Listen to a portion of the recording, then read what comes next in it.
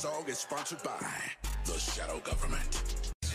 Legalize nuclear bombs.